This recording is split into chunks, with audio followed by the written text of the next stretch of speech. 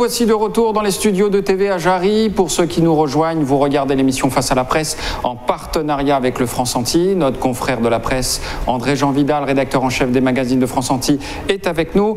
Également présent euh, Thierry Fundéré, éditorialiste et consultant. Aujourd'hui, nous recevons Monsieur le maire Joël Beaugendre qui répond à nos questions. On démarre sans plus tarder notre rubrique du tiercé. Alors, Monsieur le maire, je vous rappelle le principe de cette rubrique, c'est que vous devez choisir un numéro euh, sur le pavé numérique qui va s'afficher dans un instant, un numéro entre 1 et 10. Le 9. Le 9, chiffre impair. Que se cache-t-il derrière la question numéro 9 Alors, comment gérez-vous les priorités dans votre commune? Du mieux que je peux. Euh, comme je vais vous dire, le- notre priorité c'était l'éducation. Nous avons effectivement euh, déjà euh, des moyens de, de peser sur euh, la- les attendus. Votre Parce première que priorité, c'est l'éducation. C'était l'éducation. D'accord, c'est pas l'eau. Non, non, je, vous dis, c'était l'éducation. Bon, ça a changé. Deuxième, Ça a changé. Deuxi- mais c'est- bah oui. non, mais ce qu'on vous demande, c'est aujourd'hui. Quelles sont vos priorités oh, aujourd'hui non, Vous m'avez pas- vous m'avez pas dit aujourd'hui. Aujourd'hui, oui, c'est l'eau. aujourd'hui, c'est l'eau. C'est aussi l'aménagement et ensuite lutter contre la dé- dé- désertification de, la, de. Ça, ça, ça vous, ça vous chagrine pas, vous qui êtes un capestérien de vieille souche, quand il y a des gens dans certaines sections qui sont huit jours sans eau Qu'est-ce qui vous a dit ça? On, me- euh, on est en train de caricaturer ma position là-dessus. Vous savez, je suis originaire de Routier. Ça existe. Toute ma famille, toute ma, ma famille Il n'y a pas de gens est originaire de Routier. pendant. Et ce sont eux qui souffrent le plus de cette affaire-là. Eh ben jamais, ils n'ont- ils n'ont jamais huit jours euh, Sans eau. sans eau. Avec juste parfois à 3 heures du matin, pendant une heure, on met un peu d'eau, euh, au moment où tout le monde dort, et puis après, toute, la- toute la journée, euh, Oui. on reste comme ça. Et c'est moi, euh, alors, c'est sur l'ordre de Joël Beaujean que ça se fait. Non, c'est pas sur l'ordre de Joël. Mais je vous est-ce dis que Joël Beaugendre Non, mais vous êtes un proteste élu. Est-ce Si, qu'il je- proteste Est-ce qu'il proteste haut et fort Mais je proteste haut et fort et surtout. Vous je n'êtes vais- pas- vous n'êtes pas je- entendu, Je peux vous dire, je peux vous dire, ah, euh, le, le comité n'est pas entendu non plus alors, puisque pas. on a fait une, Non, personne. une- une certaine, on a fait une grande messe au conseil régional. C'est des grandes messes, c'est pas intéressant, les grandes Ah, messes. On intéressant. On s'y endort. Ce qu'il faut, c'est des actes. Ah, Des actes. Bah oui. Alors moi je peux vous dire les actes que j'ai faits. Oui, je m'en souviens de ça. Je, je- je peux vous dire les actes. Aujourd'hui, hein, Dites-nous, Ah, dites-nous. D'accord, oui. d'accord, allons-y, dites-moi. Voilà que j'ai des, des agents de la CSBT qui disent qu'ils n'ont pas les moyens pour pouvoir faire réparation des fuites. Combien ils sont déjà, rappelez-nous Une dizaine. C'est tout. Ok Suffisant Non. Je vous dis, ah, ah, allez-y. attention à capacité, hein. Ouais, capacitaire, oui, oui. Ils n'ont pas de pelle. Je prends ça sur mon compte. Au risque de voir monsieur le préfet me dire que ce n'est pas de ma compétence. Mais c'est pas grave, c'est. J'ai. De pelleteuse, vous voulez dire? De pelle. De pelle. De pelle, une pelle, une pelle, pelle à 50 euros. Une pelle à godet. Ils n'ont pas de matériaux. J'ai j'ai deux comptes pour les matériaux. Chez. La robinetterie. Là-bas, oui. Je ne sais pas, monsieur. Là-bas, oui, De- de- La CSBT vous doit de l'argent et vous vous substituez à la CSBT. Euh, euh, vous voyez, heureusement que je suis un capestérien qui est sensible Non, mais c'est- aux, aux- c'est votre droit. à- aux souffrances de ma population. Je vous l'ai dit tout à l'heure, quand il s'agissait de, de, distribution de l'eau. Je n'ai pas cherché à savoir si c'est la CSBT ou SIAG et aller pleurer devant une télévision. C'est le SIAG. Non, j'ai pris mes responsabilités. Là aussi, je les prends. Et je, je vous dis, encore une fois, c'est qu'il y a une double manipulation, c'est celle de la euh, CSBT et aussi du SIAG. N'oubliez pas, c'est le SIAG qui fait les tours d'eau. Alors, nous allons passer à un deuxième tirage de numéros. Toujours choisi, il faut choisir un numéro entre 1 et 10. S'il vous plaît, Donc, évidemment, vous ne pouvez pas retirer le numéro 9. Un numéro, Entre 1, le, le 1, toujours impair. André Jean Vidal, si vous voulez bien lire la question qui se cache derrière le chiffre 1. Quand on a été maire aussi longtemps, est-ce qu'on a toujours envie? Est-ce que le matin, quand on se lève, on se dit j'y vais? Au liqueur je dis pas si j'y vais au les cœurs. On a tout fait pour me dégoûter, on n'arrive à pas me dégoûter comme ceci. Qu'on me laisse vivre en paix, et à ce moment-là, les choses se... Je vous le dis encore une fois, ce n'est pas comme ça qu'on arrive à me dégoûter. Bien au contraire, on cherche mon âme de guerrier, de mon âme de bâtisseur, mon âme qui aussi sait pardonner, sait aimer. Et aimer en particulier la population de Capesterre-Bello. Vous qui avez du recul en tant que maire, puisque ça fait 25 ans que vous occupez cette fonction, euh, est-ce que le métier de maire a changé? Énormément. Énormément, et même je peux vous dire une chose. J'ai vu en particulier, parce que nous sommes sur une île, euh, évoluer l'attitude des préfets qui sont actuellement très fébriles. Depuis qu'on avait rappelé un préfet qui était à la retraite pour une histoire de, de rocher qui avait dégauché d'une montagne. Et ensuite, après l'affaire de la Ferté-sur-Mer en particulier, parce que pour moi, c'est cela. Eh bien, je veux vous dire une chose. J'avais au départ, pour la section de chaud de Capesterre-Bello, eh bien, tous les services de l'État pour pouvoir me dire que c'était une zone d'antigage. Du seul fait qu'il y ait eu le problème de Ferté-sur-Mer, tout le monde a fait marche arrière et je me suis retrouvé seul avec une promesse. C'était la promesse qui avait été faite aux jeunes chaud qu'il y aurait eu un aménagement. Moi, je continue. Mais qu'est-ce qui a changé dans le métier C'est ça que, Ah, c'est grave ça. C'est qu'on veut effectivement que vous, euh, que vous mettez en cause. Vous, euh, écoutez, la- l'actualité vous dit ce qui a été réservé aux maires de la Vérité-sur-Mer, à ces, à ces maires-là. Et vous avez entendu, plus de la moitié des maires ne veulent plus se représenter. Justement par leur mise en cause. Vous, ça vous, ça vous dérange Vous, vous pas allez- ça, vous, ça, Vous n'en faites pas Moi, partie. Vous ne faites pas partie de Moi, ce maire qui... j'aime ma population. Qu'est-ce que j'ai à que monsieur Excusez-moi, le mot, je l'ai, je l'ai lâché. Quand on voit le, mon âge, si on croit que finalement, que l'on a effectivement vidé ce corps-là de la de son envie de se battre pour sa population, on n'est pas C'est arrivé. pour sa population, c'est pas pour vous uniquement, c'est pour, ça, pour la population. C'est pour l'intérêt. Oui, la venue pour la café, c'est pour moi que je le fais, monsieur. Euh, le- euh, Excusez-moi, la médiathèque, c'est pour moi que je le fais. Qui paye Le- Qui paye la, la- la, le- la commune. Mais bien sûr. D'accord. Alors, nouveau numéro à tirer, toujours entre qu'on 1 peut- et parce- non, parce 10. qu'on peut très bien faire hein, avec le- les fonds de la région, les fonds d'autres euh, organismes. Mais écoutez-moi, hein. je ne suis pas, je ne suis pas un pleureur. D'accord. 5. C'est alors- que je suis. que je vous Le dis. 5. Alors, que se cache-t-il derrière la question numéro 5 Thierry Funderi, si vous voulez bien la On va lire. peut-être un peu la reformuler parce qu'on a déjà un On peu déjà parlé, posé. Euh, L'attractivité de, de Capesterre-Bello, Joël Beaugendre, euh, passe par quelle stratégie, euh, quelle politique du logement pour stopper cette euh, désertification de, de votre commune? Euh, La politique du logement est très agressive à Capesterre-Bello.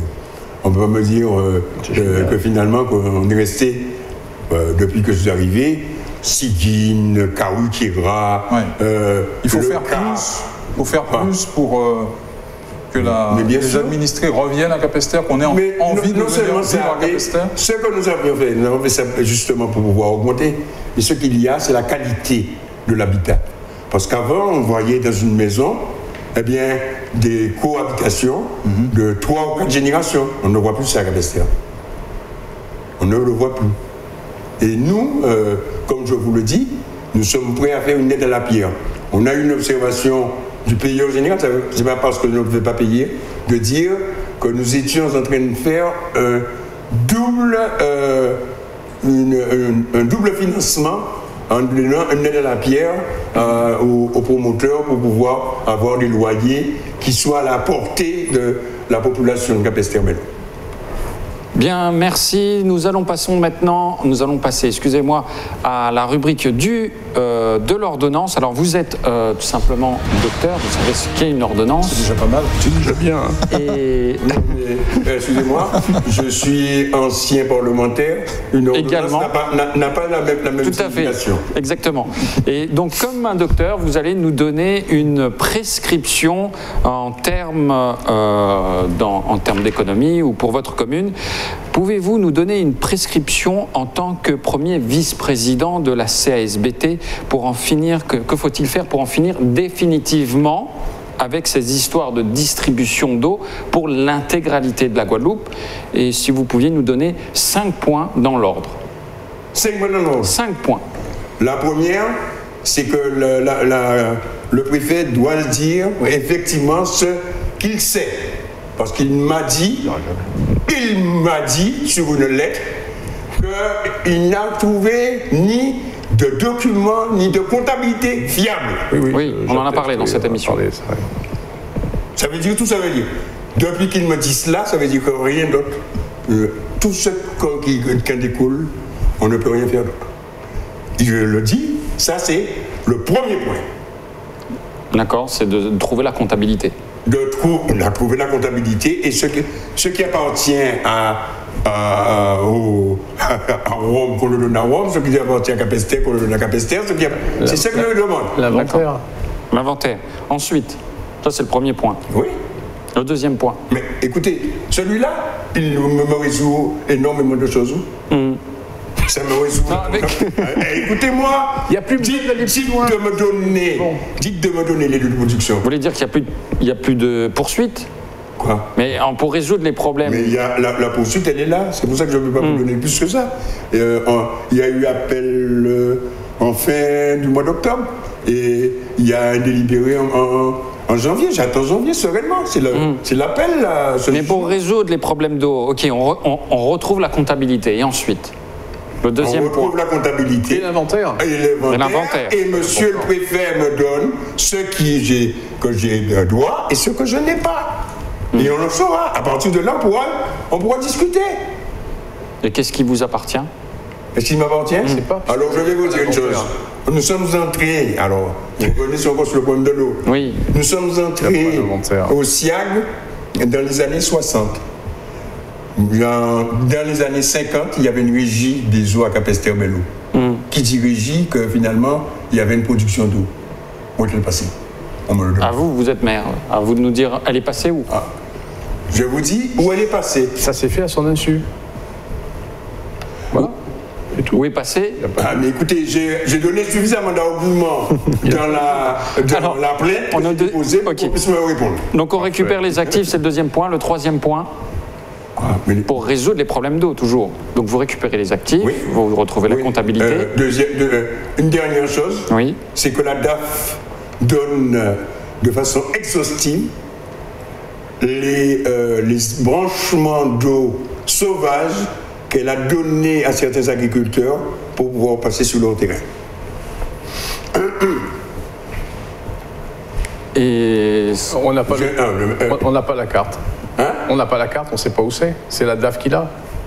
C'est pas moi tous les gars. Ah bah non. C'est pas nous qui. C'est pas nous, hein. C'est pas nous qui signons les. pas nous. C'est pas nous qui. Ah, Excusez-moi. mais mais oh, non non, vous- c'est suffisamment sur le dos des élus Ah pour qu'on puisse dire réellement ce qui s'est passé. Vous n'allez pas nous dire que ce sont que les agriculteurs qui ont des compteurs sauvages à Capester, on connaît l'histoire quand même. Ah, Allez dire. Non, mais vous la connaissez comme moi. Oui, mais euh, je peux vous dire une chose. Vous visez le comité de l'eau qui fait des branchements sauvages. J'ai visé personne. Non, mais, je- je- mais moi je peux vous dire. Ah bon? Euh, Il y a eu effectivement, parce que moi on m'a poursuivi, le, la générale des eaux m'a fait poursuivre pour vol d'eau. Eh bien, euh, on a eu un non-lieu de cette affaire-là. Mais je, euh, ce que je peux vous dire, c'est que euh, en, en ce qui concerne le- les, les agriculteurs, ce ne sont pas des petits tuyaux amenant de l'eau. euh, Il y en a même qui irriguent avec, avec de l'eau potable. donc en trois points, Et qui est on, connu, hein en trois points, on récupère la comptabilité, on récupère les actifs, on récupère les, les tuyaux, on met euh, les agriculteurs euh, face à- aux compteurs sauvages. C'est pas des agriculteurs. Non, non, c'est la Les- DAF qui a La DAF, La DAF, la DAF. C'est la pardon. DAF. Et le Mais cinquième c'était- point, Non, non, c'était. euh, je crois que vous avez mal compris. Pour avoir les servitudes de passage, la DAF a donné des comptes, un branchement d'eau gratuitement à certains agriculteurs. C'est tout. Sans compte. pour distribuer l'eau en fait. Vous le savez très bien, monsieur Vidal. vous rigolez comme si vous découvrez cela. Non, non, je rigole, je rigole parce que c'est tellement. Attendez, on dirait pas, attends, vous qui êtes un homme de culture, on dirait pas un vaudeville autour de cette eau-là, on dirait pas un vaudeville, on dirait pas qu'on se moque du monde. euh, hein. C'est- J'ai été le premier. C'est un scandale, J'ai quoi. j'ai été le premier, comme vous le savez, puisque, ne m'accompagnait pas euh, euh, on ne m'accompagnait pas là-dessus. Vous voyez pas que je- on aurait réglé longtemps le problème Ah Non, non, non, non, non, non. On ouvrait les micros, sauf quand vous débordiez euh, en faisant des manifestations. Là, on, on fermait les micros parce que voilà quoi. Moi, je faisais des manifestations? Ah oui. Moi, j'en ai encore. On pas dit ça. Alors, On a une encore- prescription, s'il vous plaît, pour le franc-senti André-Jean Vidal. Allez, on va lui faire plaisir.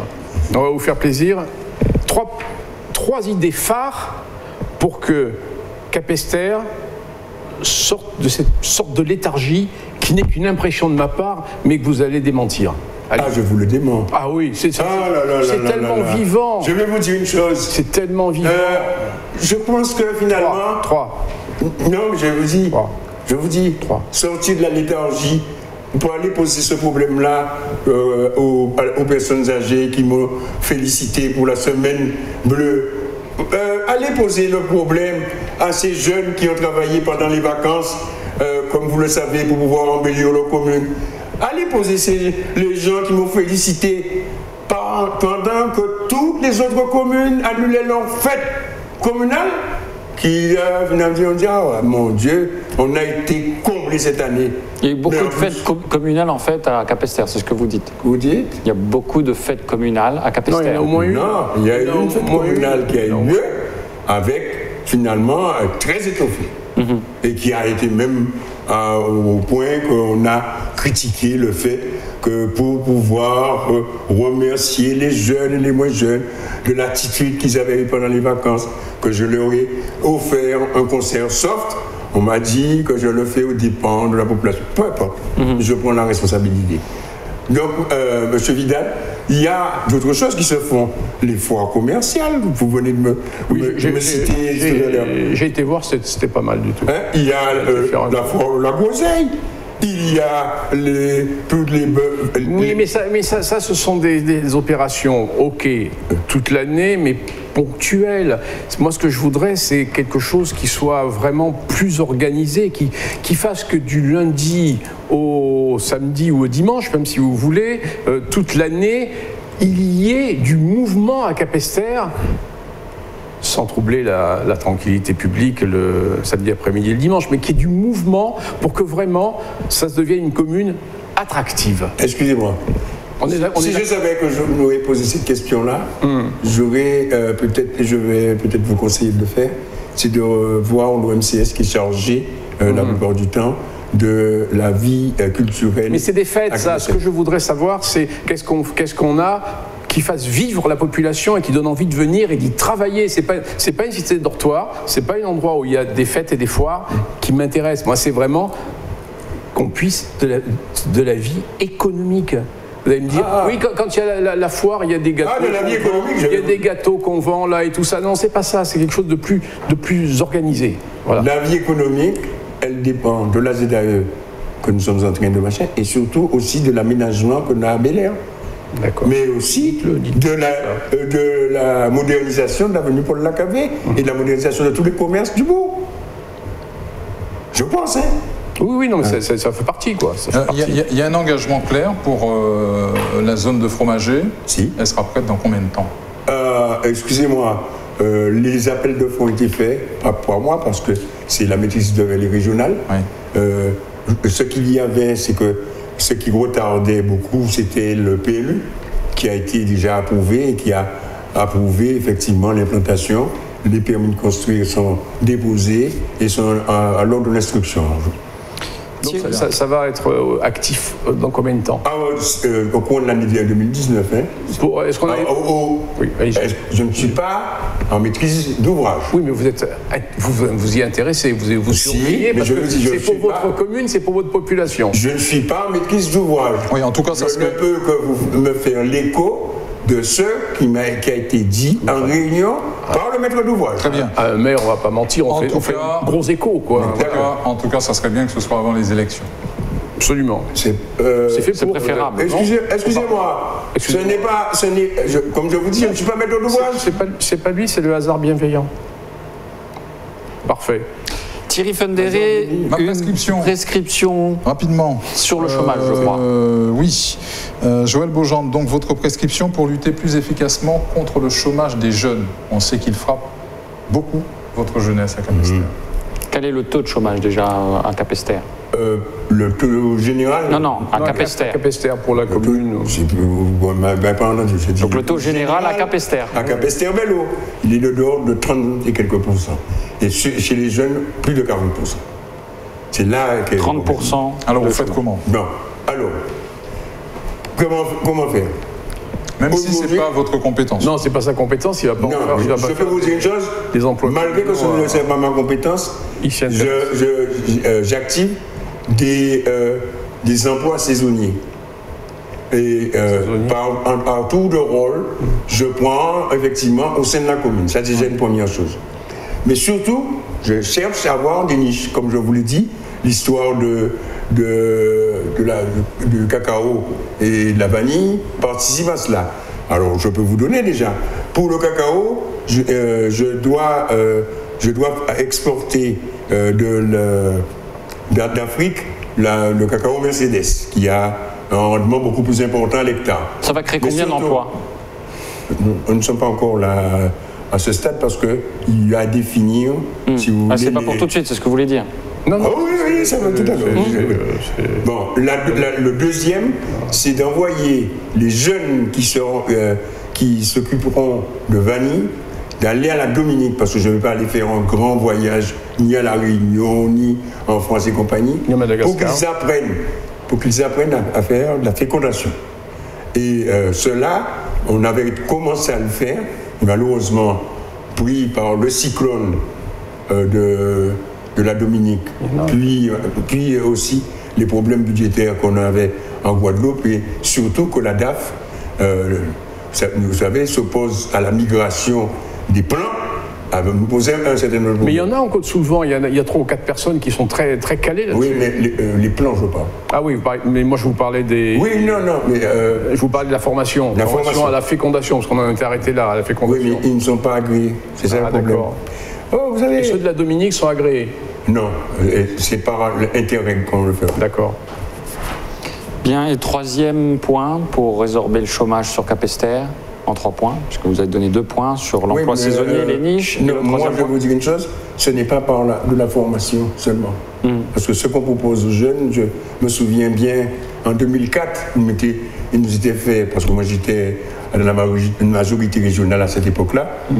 on nous avait reproché de dire qu'on était en train de baisser en faisant euh, une priorité des emplois jeunes. Et que, ouais, passé euh, ce- cette période-là, ils sont au chômage. Aujourd'hui, même pas de promotion en emploi jeune. Vous comprenez ce que je veux dire? Et ce qui veut dire que les jeunes, quand ils ont fait soit un emploi civique qui dure 8 mois, soit un emploi à venir qu'on ne renouvelle pas, ils se retrouvent au chômage. C'est à nous de créer, je vous ai dit, par de l'emploi non marchand, parce qu'il y a cela aussi. C'est que tous les jeunes aujourd'hui, l'argent est trop facile dans, au- euh, en mairie ou dans une collectivité, ils ne veulent pas aller à, à des emplois non marchands.